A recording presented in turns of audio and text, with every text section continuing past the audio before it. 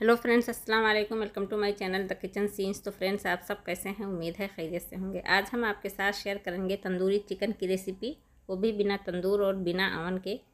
इस रेसिपी से अगर आप तंदूरी चिकन बनाएँगे तो मक्खन मलाई की तरह सॉफ्ट और बहुत ही टेस्टफुल बन करके तैयार होगा। तो रेसिपी को ज़रूर ट्राई कीजिएगा। रेसिपी पसंद आए तो प्लीज़ वीडियो को लाइक कीजिए, चैनल को सब्सक्राइब कीजिए, मुझे सपोर्ट कीजिए।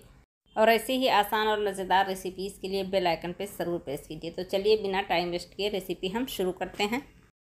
तंदूरी चिकन बनाने के लिए हमने यहाँ पे थ्री लेग पीस लिया है। वो भी थाई के साथ लिया है। इसे अच्छी तरह से वॉश करके इसका सारा पानी हमने ड्रेन कर लिया है। इसमें पानी बिल्कुल नहीं रहना चाहिए। अब हमें एक पीस लेना है और इसमें इस तरीके से गहरा कट लगाना है। तो कट हमें जो लगाना है, एकदम नज़दीक लगाना है।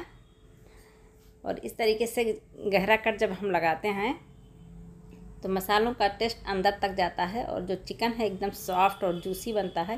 तो एक साइड हमने कट लगा लिया है। दूसरे साइड से भी इसी तरीके से हम कट लगाएँगे। तो फ्रेंड्स, आप देख सकते हैं, यहाँ पर हमने गहरा गहरा कट लगा लिया है। इसे साइड में रख देते हैं और बाकी पीसेस में भी इसी तरीके से हम कट लगा लेंगे। तो यहाँ पे सभी पीसेस में हमने गहरा कट लगा लिया है। तो अब हम इसकी फ़र्स्ट मेरीनेशन करेंगे। इसके लिए हम इसमें वन टेबल स्पून सफ़ेद सिरका यानी वाइट विनीगर ऐड करेंगे।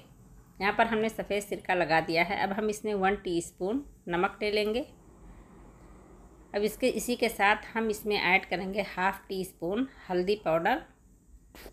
अब नमक, सिरका और हल्दी पाउडर को चिकन के पीसेस में हमें अच्छी तरह से रब करना है। यहाँ पे जो हमने गहरा कट लगाया है, इसके अंदर तक मसालों को अच्छी तरह से हमें मसल लेना है। हल्दी पाउडर से चिकन में स्मेल बिल्कुल नहीं आएगी, एकदम स्मेल फ्री रहेगा और नमक और सिरका से चिकन सॉफ्ट और जूसी बनेगा। तो तमाम मसालों को हमने इसमें अच्छी तरह से मसल लिया है। अब इसे हम मेरीनेट होने के लिए एक घंटा के लिए रख देते हैं। चिकन को हमने एक घंटा के लिए हल्दी, नमक और सिरके के पानी में मैरिनेट किया था। तो चिकन से जो पानी निकला है, इसे हम डिस्कार्ड कर देंगे। इसे हमें नहीं यूज़ करना है। यहाँ पर चिकन से जो पानी रिलीज़ हुआ था, उसे, उससे हमने चिकन को अलग कर लिया है। अब इसे हम साइड में रख देते हैं और सेकंड मैरिनेशन के लिए हम तैयारी करते हैं। सेकंड मैरिनेशन के लिए हमने एक तड़का पैन में तीन से चार टेबल स्पून मस्टर्ड ऑयल को अच्छी तरह से गर्म कर लिया है। इसमें से देखिए धुआँ निकलने लगा है। जब इस तरीके से धुआँ निकलने लगता है तो मस्टर्ड ऑयल में जो झांस होता है, जो स्मेल होती है, वो ख़त्म हो जाता है। इसे थोड़ा सा ऑयल को हमने ठंडा कर लिया है। अब इसमें वन टीस्पून लाल मिर्च पाउडर ऐड करेंगे। अच्छी तरह से इसे फटाफट हम मिक्स करेंगे। और इसे हम एक मिक्सिंग बाउल में ट्रांसफ़र करेंगे। इस तरीके से जब लाल मिर्च पाउडर को हम गर्म ऑयल में डालते हैं तो इसकी खुशबू बहुत अच्छी आती है और इसका कलर भी जो है उभर करके आता है। तो इसे हमने एक मिक्सिंग बाउल में ट्रांसफ़र कर दिया है। अब हम इसमें ऐड करेंगे वन टेबल स्पून अदरक लहसुन पेस्ट चटपटा सा टेस्ट आने के लिए वन टीस्पून हरी मिर्च का पेस्ट ऐड करेंगे। इसी के साथ वन टीस्पून कश्मीरी लाल मिर्च पाउडर वन टीस्पून धनिया पाउडर वन टीस्पून जीरा पाउडर हाफ़ टी स्पून काला नमक ऐड करेंगे और इसी के साथ हम इसमें half teaspoon chaat masala add करेंगे। वन टी स्पून गर्म मसाला ऐड करेंगे।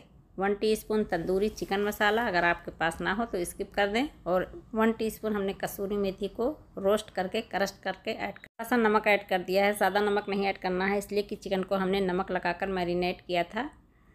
इसी के साथ हम इसमें चार से पाँच टेबल स्पून हंका ऐड करेंगे तो चार से पाँच टेबल स्पून दही को हमने एक छन्नी में रख के बीस से पच्चीस मिनट के लिए रख दिया था।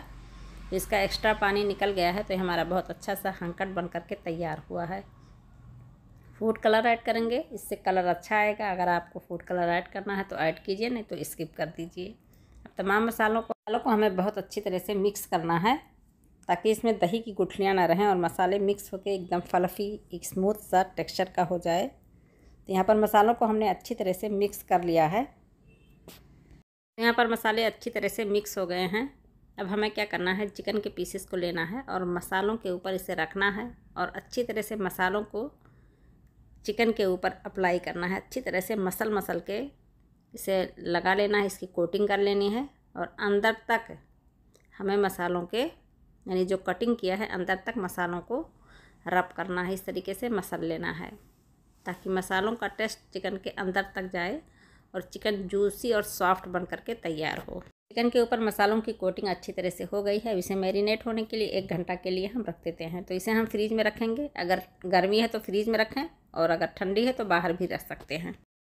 चिकन को हमने एक घंटे के लिए फ्रिज में मैरिनेट होने के लिए रख दिया था। अब चलते हैं हम फ्राई करने के लिए।